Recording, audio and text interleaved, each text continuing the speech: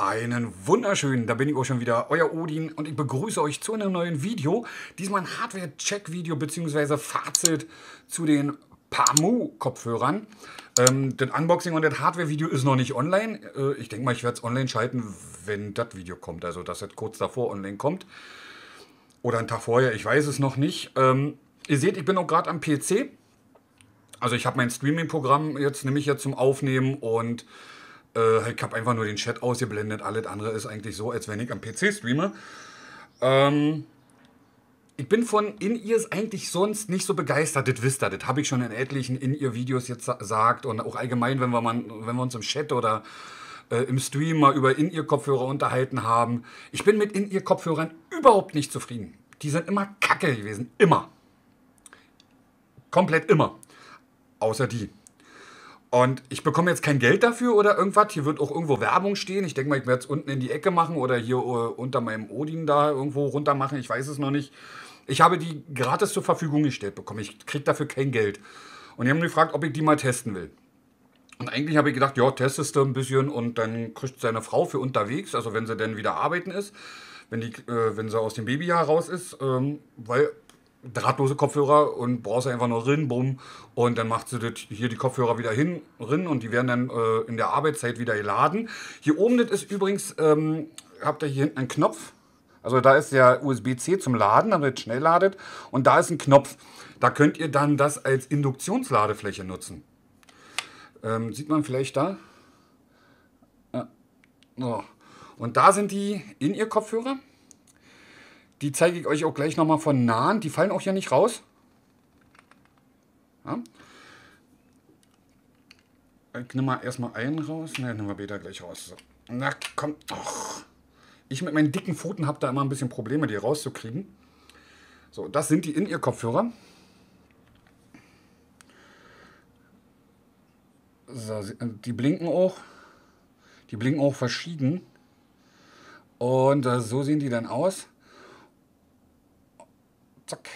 Also hier durch diese schmale, die halten so geil. Und das ist halt zum Laden. Und der andere sieht halt genauso aus. Eigentlich wollte ich zu meiner Frau geben, jetzt behalte ich sie. Weil wenn es wirklich heiß ist und jedes Mal die fetten Kopfhörer auf, wenn ich ja abends streame ist oder ein Hangout mache, ist echt kacke. Du schwitzt dich da drunter so dermaßen in einem Wolf, das ist... Und die drin und funktioniert super. Ähm, ich muss mal gucken. Das, ich, eins habe ich zu bemängeln. Ein einziges habe ich zu bemängeln. Und zwar, man sieht hier, ich weiß nicht, ob ihr das vernünftig sehen könnt. Da, so ein bisschen seht ihr. Da steht, äh, seht ihr das, den kleinen Kreis mit dem L? Und auf der anderen Seite ein kleiner Kreis mit rechts da würde ich mir wünschen, bei der nächsten Charge, also, oder wenn sie die nochmal aufleben, ähm, das nicht in Grau. Weil äh, helles Grau auf dunklem Grau ist echt scheiße.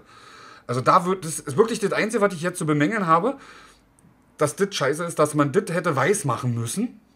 Weil ich habe da echt Probleme manchmal abends die zu sehen. Und muss mir dann Licht anmachen oder mit Handy heran, weil es ist wirklich schwer zu sehen. Wirklich schwer zu sehen.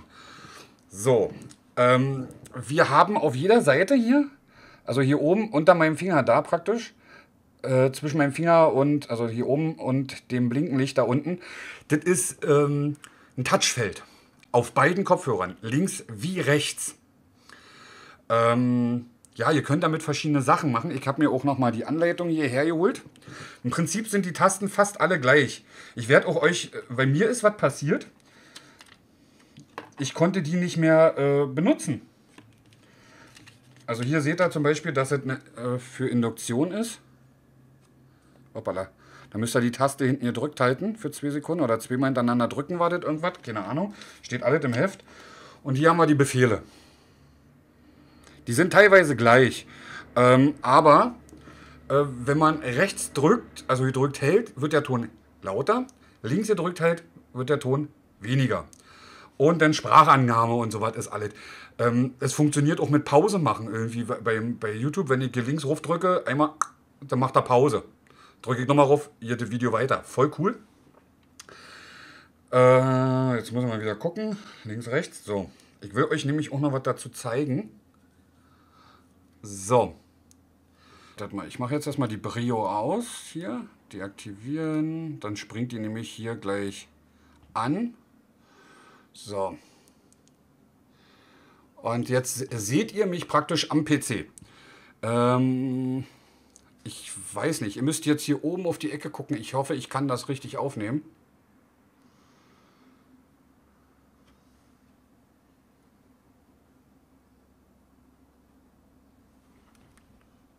Ne? Ich muss mal gucken, vielleicht seht ihr das jetzt. Ist jetzt gerade Vorführeffekt. Jetzt geht es gerade nicht lauter, warum auch immer. Vielleicht muss ich dafür ein Video anhaben. Wir machen jetzt einfach mal... Ähm, was machen wir an? Wir machen jetzt einfach mal...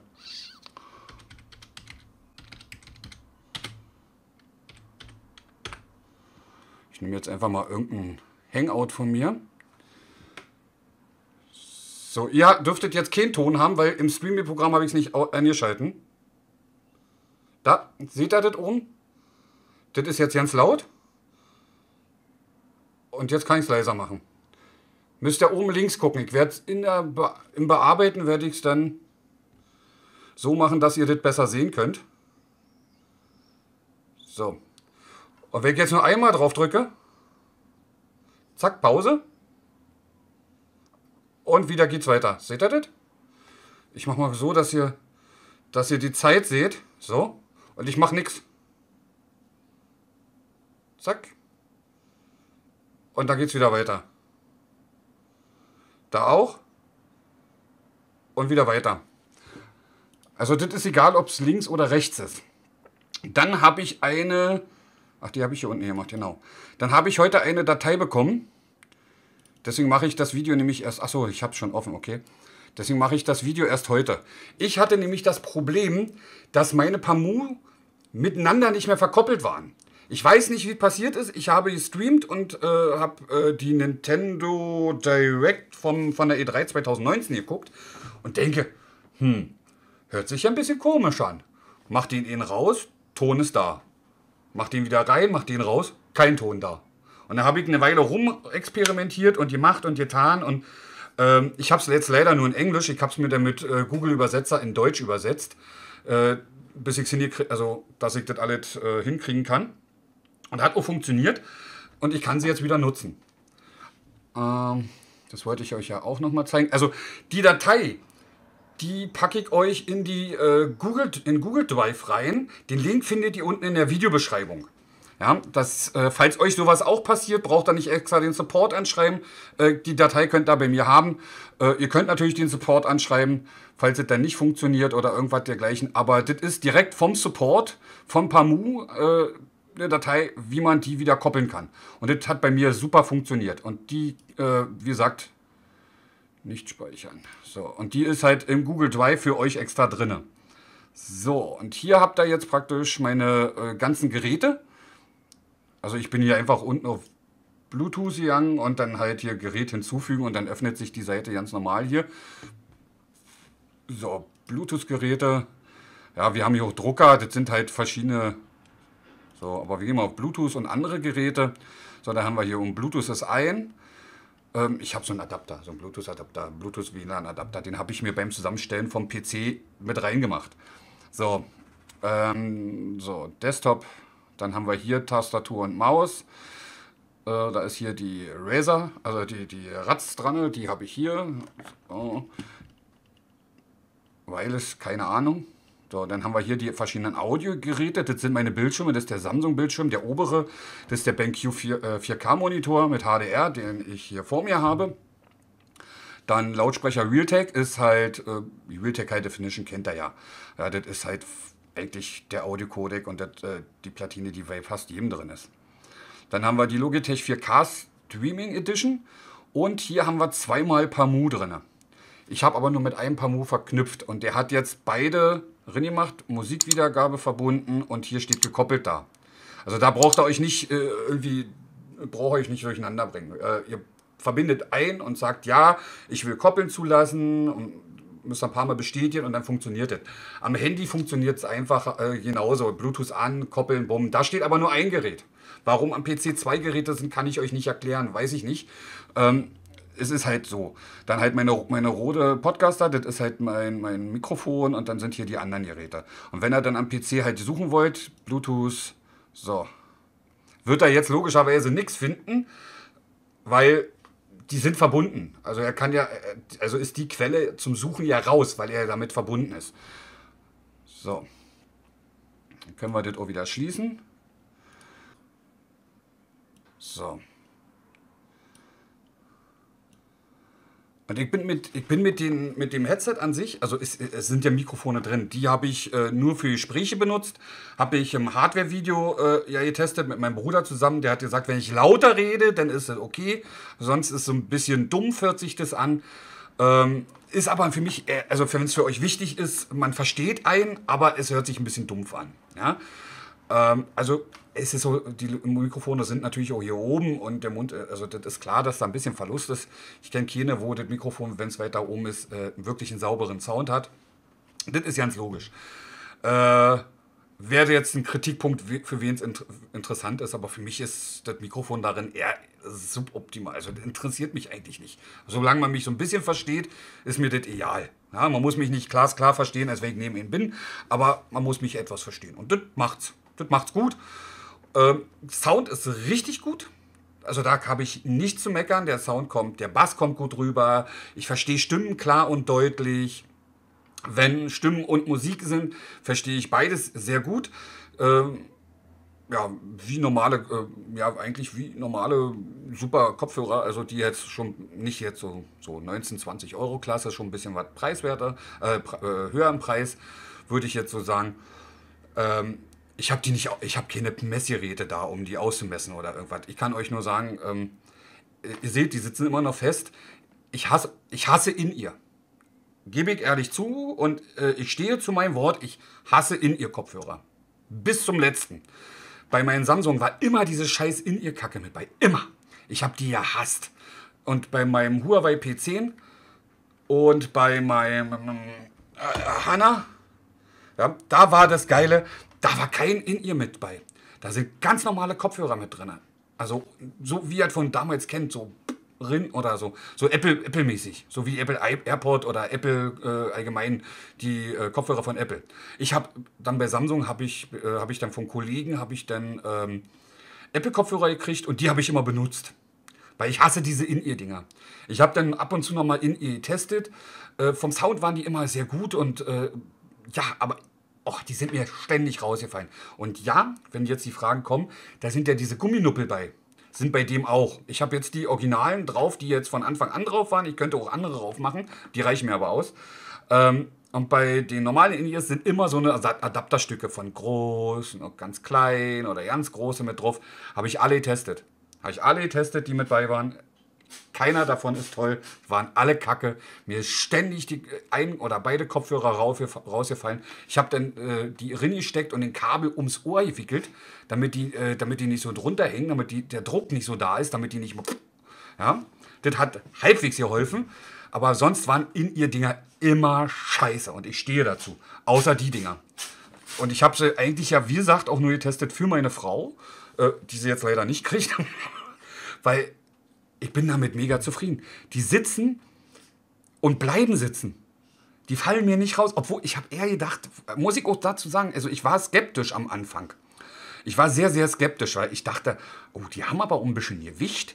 Und ähm, ja, kein Kabel, kein nix, gut, aber die haben Gewicht. Die, zack, bumm, fallen, die müssen doch rausfallen. Nein, gar nicht. Ich habe sie im, im Stream Oh, wie lange haben wir gestreamt? Äh, fünf Stunden oder so. Ich habe die fünf Stunden drin gehabt. Fünf Stunden. Oder über fünf Stunden sogar. Nichts rausgefallen, nicht locker geworden, gar nichts. Tipptopp. Äh, Reichweite, kann ich euch auch was dazu sagen. Die Reichweite ist richtig geil. Also ich habe meinen Bluetooth-Empfänger, ist hier unterm Tisch. Der steht direkt auf dem PC drauf. Ähm, das ist mein Bluetooth-Empfänger für die, sieht man es, da ist ein G drauf, Ja, für die Logitech G933, also die teureren von Logitech Gaming-Headset. Ja? Wenn ich das genau da unten auch am PC ranmache, ich komme bis in eine Küche, halbwegs in den Flur, Badezimmer und Schlafzimmer sieht schon scheiße aus. Da habe ich dann Aussetzer oder gar nichts. Hiermit habe ich getestet, äh, kann ich bis in den Hausflur gehen. Weiter bin ich nicht gegangen, ohne Abbrüche, ohne irgendwas und kann, verstehe trotzdem noch alles super. Funktioniert richtig geil. Äh, Tragekomfort, ich packe die jetzt mal wieder weg. Tragekomfort, wie gesagt, ist erste Sahne. Ja, auch hier, die fallen nicht raus.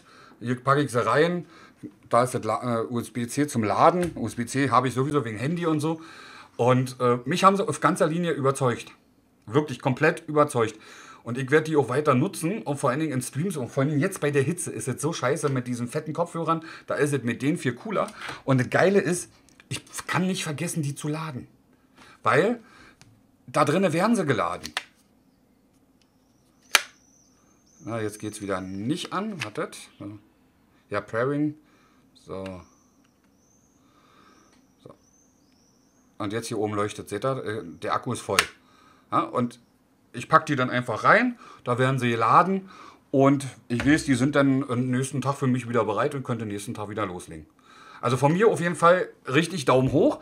Die allerersten In-Ears, die ich habe, die wirklich halten, nicht rausfallen die einen geilen Sound haben und bin ich wirklich komplett zufrieden bin. Und das sage ich nicht, weil ich sie gratis bekommen habe oder irgendwas dergleichen. Nein, überhaupt nicht. Das ist meine persönliche Meinung. Meine eigene persönliche Meinung. Und ich habe auch kein Geld dafür bekommen, um sowas zu sagen. Oder weil kommt ja immer, ja, du kriegst ja Geld dafür oder so. Nein, kriege ich nicht. Die haben nur gefragt, ob ich sie vielleicht in einem Video zeigen wollen würde. Und ich fand das Konzept interessant für, äh, für meine Frau die sie jetzt ja leider nicht mehr kriegt, die bleiben bei mir. Ähm, und dachte, Mensch, das wäre was, das würde euch vielleicht auch interessieren. Deswegen habe ich gesagt, ja, ist okay, schickt mir her, ich gucke es mir mal an. Und ich muss auch ehrlich sagen, ich bin da rangegangen, wie ich euch gesagt habe, in ihr fallen wieder raus, ist, äh, haben sie einen tollen Sound, dann kannst du auch wieder nur sagen, der Sound ist toll, aber scheiße, in ihr hasse ich, weil sie immer rausfallen. Nee, gar nicht. Also wirklich, also das sind die aller, allerersten In-Ears. Und ich habe viele In-Ears gehabt, auch von Freunden, die haben gesagt, hier, guck mal, die halten bei mir super, guck mal. Und alles Mögliche getestet und ach, ich weiß nicht, auch so In-Ears mit oben noch so einem Steg dran, was, du denn hier am Ohr hast, alles getestet. Äh, nein, fallen raus. Äh, die mit dem Steg sind ein bisschen besser, aber die fallen, also die fallen auch raus, aber nicht so schnell wie die normalen In-Ears. Aber die über fünf Stunden getragen. Nicht einmal rausgefallen. Nicht mal locker geworden. Irgendwas, das sie nachgegeben haben, wo ich dachte, oh, die musste nachstecken. Gar nichts. Ich habe selber aus Versehen immer wieder, oh, sind sie noch da? Weil irgendwann merkst du die ja auch nicht mehr und dann hast du so das Gefühl, oh, die fallen raus, aber die sind fest, nix. Ja, also von mir aus komplett Daumen hoch, äh, klare Empfehlung. Ähm, ja, dann soll es das jetzt soweit dazu gewesen sein. Ich hoffe, ich konnte euch damit einen Gefallen tun. Weil viele haben ja dann im Stream gefragt, ob ich, wann die Videos dazu kommen. Und wie gesagt, ich wollte die nicht online schalten, bis Pamu sagt, ja, kriegst du wieder hin, weil wenn die jetzt gesagt hätten, oh, jetzt sind sie nicht mehr gekoppelt, äh, da haben wir keine Möglichkeit, die mehr zu koppeln, dann hätte ich natürlich gesagt, hey, geile Kopfhörer, aber wenn die einmal nicht gekoppelt sind, kriegt er sie nicht mehr zusammen oder so. Das hätte ich dann natürlich auch gesagt. Aber jetzt geht alles wieder. Wie gesagt, die Datei findet ihr unten in der Videobeschreibung. Ich mache jetzt auch erstmal Schluss. Wenn ich euch damit helfen konnte, ein Däumchen wäre ein Träumchen. Wenn ihr noch Fragen habt, einfach in die Kommentare posten. Ich werde jetzt mein Bestmögliches tun, die noch weiter zu testen und vielleicht nächstes Mal noch ein kürzeres Video und nochmal ein Fazitvideo irgendwie nach einer Weile testen zu geben, weil jetzt konnte ich ja nicht so lange testen. Ich habe die jetzt äh, knapp eine Woche getestet Nee, über eine Woche. Äh, wären jetzt, rein theoretisch wären es jetzt 14 Tage gewesen.